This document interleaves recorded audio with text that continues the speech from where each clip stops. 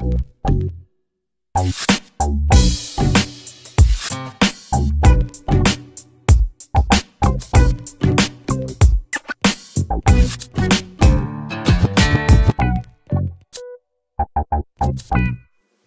what's going on, guys? Ryan Knows Tech here today from TechInform.us, and I'm going to uh, perform an upgrade here of memory in the mid 2009 MacBook Pro.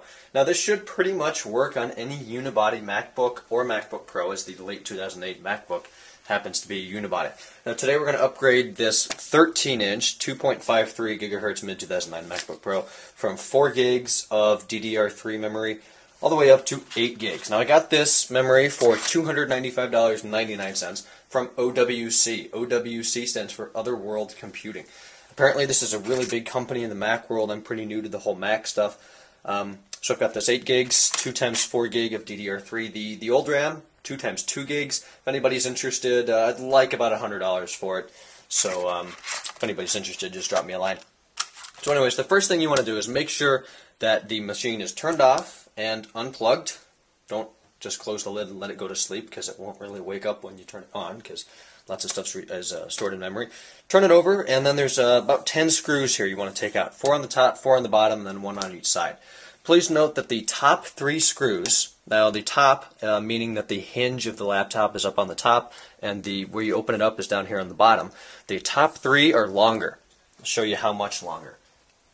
Uh, maybe kind of hard to see there. But this is the real short screw, and that's the long screw, obviously. So uh, the top three are longer. Some of them, they kind of go in at an angle, so when you're putting them back in, just mind that. Anyways, once you get all these screws out, back over here, you can just kind of press and lift it up a little bit. And this piece is extraordinarily light. While you have this off, might as well blow some dust out of here, clean it up a little on the back. I know mine was a little dirty the first time I took it off. In here, we might as well do a real quick tour around. It's pretty simple. Here's your hard drive. This happens to be a 250 gig, 5400 RPM. Apple's uh, MacBook Pros ship with Fujitsu drives. Um, I'm going to upgrade that to a 500 gig, 7200 RPM drive in the near future. Up here's your super drive. Got your fan here. The processor, um, I think, is right under this. Got your memory here, and then this is your battery. It says warning, don't take that out, and there should be no need. Uh, anyways, to to uh, to do memory, let me go ahead and zoom in here. Get a better look on the memory slots. This uh, this laptop happens to use DDR3 PC3 8500. That's 1066 megahertz RAM. Very quick. Pretty much the latest in in MacBook or um, mobile computing. So replacing RAM is, is actually really easy. You just pull these little tabs on the side apart from each other. Boom. Pops up at about 25 degrees. Hold it by the ends. Pull it out set it down gently. Same thing with the other one. Pull those apart, it pops up, and a little bit harder to get in there down at the bottom. And once you can, might have to pull those again, pop up a little bit more, and just pull it right out. Installing the new memory is pretty much just a reverse practice of that. Now there's a little staple in here. And there it is. You take your new one, and you're going to notice that there are notches. This memory, I put my hand behind it. This notch is going to correspond with a notch over here. So do your bottom one first, of course. Give it a push. And you're probably going to want to pull the tabs aside a little bit so you don't break it. Uh, just push it down in there until, there we go, it clicks. Same thing with the other piece. If I can get into it. Might uh, might add that Crucial Memory is very good. I think OWC is good. If I have any problems, I'll make another video in the future, but I, of course, don't expect that, especially in this price range. I, I checked uh, a couple places online. This was about the cheapest I could find it for, for you know for good memory. Same thing on top.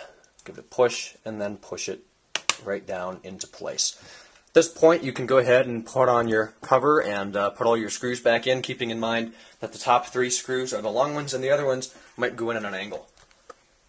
Putting this piece back on, of course, make sure that the, the hinge uh, goes up top. Then uh, just put it right back on like that. Go ahead and screw everything back in. And uh, now I'm going to boot it up, make sure that it does recognize and utilize all 8 gigabytes of RAM. All right, so I just got the Mac uh, MacBook Pro booted up into macOS 10.6.4, and to check your memory, you're going to go up to the Apple in the top left of your screen. Go ahead and click on that, and then go down to About This Mac. Click on that. There we go. See processor and memory information. For memory, we do see 8 gigabytes of 1067 megahertz DDR3. So this thing should really fly. Another place you can check is uh, your activity monitor. Go ahead and launch that free. I have 6.77 gig um, you can see the, the graph here. Uh, 7.75 gig are usable. That extra 256 meg, or approximately uh, 0.25 gigabytes, is going to my shared uh, NVIDIA 9400M mobile graphics card. So uh, I'll let you know if I have any problems. I really shouldn't. If there's a major or major performance increase, I will make a video about it. Um, I think four gigabytes, honestly, is is decent for average work, like um, maybe some light editing really, uh, Mac OS 10 uses a lot of RAM. For what I do with all the video work and uh, and Photoshop and all that crap, I think 8 gigabytes is a, is a pretty safe sweet spot. So thanks for watching this one. If you have any questions, or uh, again, if you are interested in the old memory, which uh, of course has only been used and is being uh, taken care of now in this computer, uh, drop me a line, Ryan at Actually, let's, do, let's use a different address. Ryan knows tech at yahoo.com. Anybody can contact me there for requests or anything like that. Our website is techinform.us. My Twitter is twitter.com slash James R. Schultz. And then every Tuesday night from 7 to 9 p.m. Eastern Time, we host our live web shows on ustream.tv slash techinformus. So thanks for watching uh, once more. Please subscribe if you like the content. Let me know how your upgrade went and uh, what computer you upgraded from, from what to what. I like to keep tabs on, on what people are doing out there, I guess. So anyways, thanks for watching, and I will see you guys tomorrow. Bye-bye.